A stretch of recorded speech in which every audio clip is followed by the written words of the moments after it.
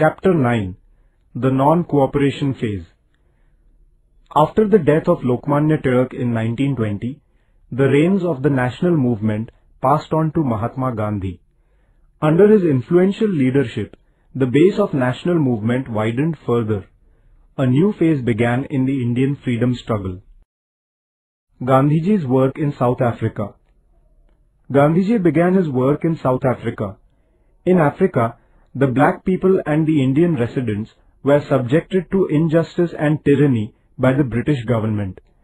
Gandhiji opposed this injustice and secured justice for the people there by leading them on the path of Satyagraha. Gandhiji arrives in India. In 1915, Gandhiji returned to India from South Africa. He toured the length and breadth of India. He took up the cause of the peasants and workers here. He adopted the novel path of Satyagraha for this cause. Satyagraha Gandhiji used the novel technique of Satyagraha for the first time in India. Resisting tyranny and injustice by non-violent ways was an important aspect of this technique. To offer resistance of this kind, great forbearance is required. The aim of Satyagraha is to make the person who inflicts injustice on others aware of the truth and justice of the matter and thus to bring about a transformation in his or her opinion. Gandhiji taught that a satyagrahi must never resort to violence and untruth. Even an ordinary person can follow the path of satyagraha. That is why people in India and the entire world chose the path of satyagraha to resist injustice. Leaders like Martin Luther King in the United States of America and Nelson Mandela in South Africa who struggled for the rights of the black people were greatly influenced by this way adopted by Gandhiji. Champaran Satyagraha In 1917, the British planters had forced the peasants of Champaran in Bihar to cultivate indigo. Gandhiji did a satyagraha to resist this exploitation and secured justice for the peasants. Kheda Satyagraha Due to constant famines, the crops had failed in the Kheda district of Gujarat. The government had compelled the peasants to pay land revenue. The local peasants, therefore, started a no-tax movement in Kheda district in 1918. Gandhiji accepted the leadership of this movement. Very soon, the government waived the taxes. The workers' struggle in Ahmedabad there was a tremendous rise in the prices of daily necessities during the First World War. Even then, the mill owners did not increase the workers' wages. This gave rise to discontent among the workers. Gandhiji led the mill workers in their strike and undertook a fast. The mill owners gave in and increased the wages of the workers. Satyagraha against the Rowlatt Act The discontent against the British government among the Indians was growing day by day. The British government appointed a committee under the chairmanship of an English judge, Rowlatt, in order to check it. The government passed a new act in accordance with the recommendations of this committee. This is known as the Rowlatt Act. The act authorized the government to arrest any Indian without inquiry. There was no appeal against the punishment given under this act. This Black Act enraged the people all over the country. Gandhiji declared a satyagraha as a mark of protest against this act. He appealed to all Indians to observe a hartal on 6 April 1919. The response of the Indian people to this appeal was overwhelming. Jallianwala Bagh massacre. The struggle against the Rowlatt Act became more intense in the Punjab province. The government resorted to repressive measures. Gandhiji was not allowed to enter the Punjab. General Dyer issued orders banning public meetings in Amritsar. Prominent leaders like Dr. Satyapal, Dr. Saifuddin Kichlu were arrested in Amritsar. To protest against these developments, a meeting was called at Jallianwala Bagh in Amritsar on 13 April 1919 on the occasion of the Baisakhi festival. General Dyer ruthlessly opened unrestrained fire on the unarmed people who had gathered for the meeting. About 400 men and women were killed in the massacre and hundreds were wounded. Michael O'Dwyer, the administrator of the Punjab, was responsible for this massacre.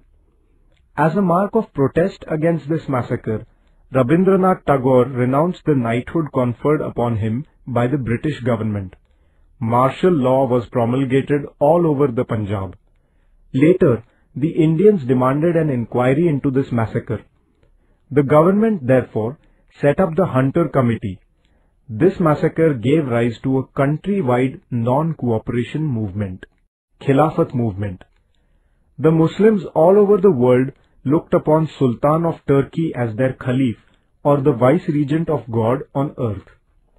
After the First World War, an insulting treaty was imposed upon Turkey which belonged to the defeated power group. This resulted in the disintegration of the Turkish Empire. The Muslims were greatly enraged by this. The movement launched by the Indian Muslims in support of the Caliph is known as the Khilafat movement. Gandhiji felt that launching a national movement based on Hindu-Muslim unity on this issue would certainly bring the British government to book. Therefore, Gandhiji supported the Khilafat movement. The Khilafat committee accepted Gandhiji's proposal for non-cooperation with the government. The non-cooperation movement began in the month of August 1920. Nationwide non-cooperation movement. At its Nagpur session in 1920, the Indian National Congress passed the resolution of the non-cooperation movement. Gandhiji was vested with full powers regarding the non-cooperation movement. By this resolution, a program regarding boycott of all government offices, foreign goods, government schools and colleges and law courts was finalized. Progress of the non-cooperation movement. The non-cooperation movement received a tremendous response all over the country. Pandit Motilal Nehru, Chittaranjan Das and other prominent lawyers boycotted the courts. Thousands of students joined this movement. Schools and colleges imparting national education were started in all parts of the country. The non-cooperation movement started assuming an all-pervasive character. The British government resorted to suppression on a very large scale. The police fired at the peaceful procession at Chauri Chaura in Gorakhpur district in Uttar Pradesh. Enraged by this, the mob set a police station on fire. 22 policemen including one officer perished in the flames. Gandhiji was grieved by this incident. He suspended this movement in the month of February 1922. Thereafter, the government put Gandhiji under arrest. Gandhiji was tried for sedition and was sentenced to six years imprisonment. Later, in February 1924, he was released from jail on account of his health. Along with the non-cooperation movement, Gandhiji also undertook a constructive program. It mainly included the propagation of Swadeshi, Hindu-Muslim unity, prohibition of alcohol, eradication of untouchability, popularizing the use of khadi or hand-spun cloth and national education. Due to this constructive program, the national movement became stronger in the rural areas. Swaraj Party Motilal Nehru and Chittaranjan Das thought of contesting elections to enter the Legislative Council with a view to obstructing the government. Therefore, in 1922, they formed the Swaraj Party within the Indian National Congress. Many candidates of the Swaraj Party got elected to the Central Legislative Assembly and to the Provincial Legislative Councils in the 1923 elections. In the legislature, they strongly opposed the unjust government policies. They got the following resolutions passed in the Central Legislative Assembly. The establishment of a full responsible government for India, convening of a roundtable conference to resolve the problems of Indians and releasing of certain political prisoners. The British government's response to the resolutions of the Swaraj Party was not very heartening. Simon Commission The reforms introduced by the Montagu-Chelmsford Act of 1919 were unsatisfactory. Therefore, there was discontent among the people. The government appointed the Simon Commission in 1927. There was not a single Indian member on the commission. Therefore, the political parties in India decided to boycott the commission. Wherever the commission went, protest rallies were organized. People strongly protested against the commission everywhere, giving shouts of Simon, go back. They were lathi charged. In one such lathi charge by the police at Lahore, Lala Lajpat Rai was wounded.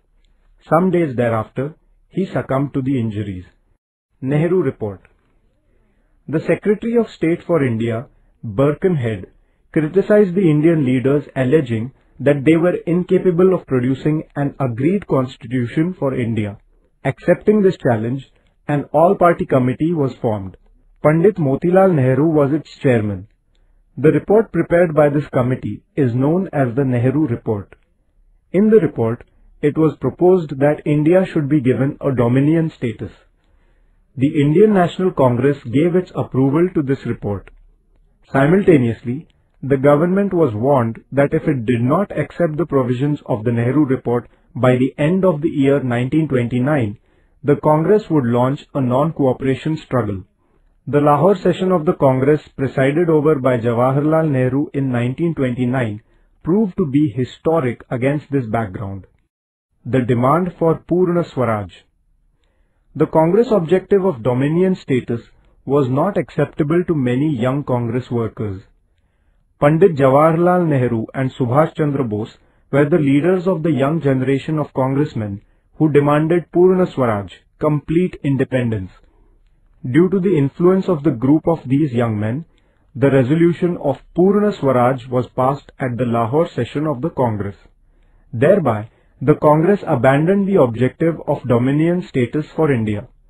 Complete independence became the goal of the national movement thereafter.